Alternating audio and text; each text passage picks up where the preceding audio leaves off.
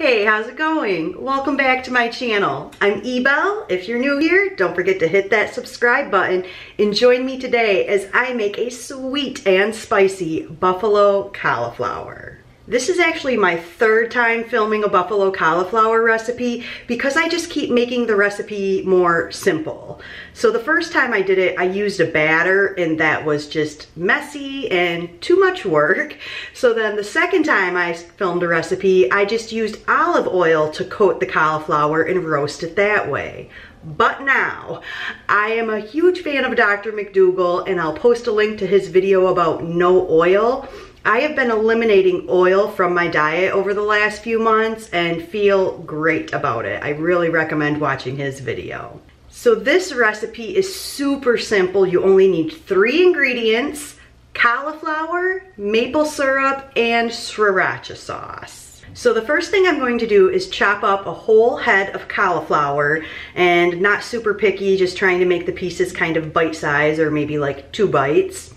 And then I'm going to put this cauliflower onto a tinfoil lined pan. You could also use parchment paper, but because the sauce I'm going to put on is kind of sticky, it just helps me keep my pans cleaner for me to use tinfoil. So again, not putting any oil or anything on the cauliflower. I have tossed it in veggie broth before, before roasting it. I honestly just really don't see a difference, so I don't waste my time. I just roast the cauliflower as is. And I'll roast it for 30 minutes at 400 degrees. So while the cauliflower is roasting, I will mix up my sauce, which is very simple, just equal parts of maple syrup and sriracha.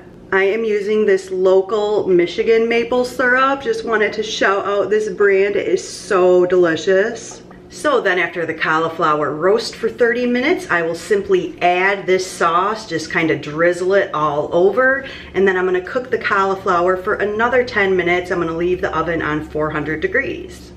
So here is the cauliflower after the 10 minutes with the sauce. It looks so good and crispy. Can you see how the sweet and spicy sauce like caramelizes on the cauliflower? Oh my God, it is my fave. Sweet and spicy is one of my all-time favorite flavor combinations, like those sweet and spicy chili Doritos. I feel like this cauliflower kind of reminds me of those, but like in a healthy, whole food, plant-based way. And I also can eat this cauliflower just with this sauce on it like nothing else. When I used to make the other style of buffalo cauliflower, I would like need some sort of vegan ranch to dip it in because that's like what went together in my brain. Thank you so much for joining me for this sweet and spicy buffalo cauliflower recipe. Until next time, don't forget to subscribe and I'll see you in my next one. Be well.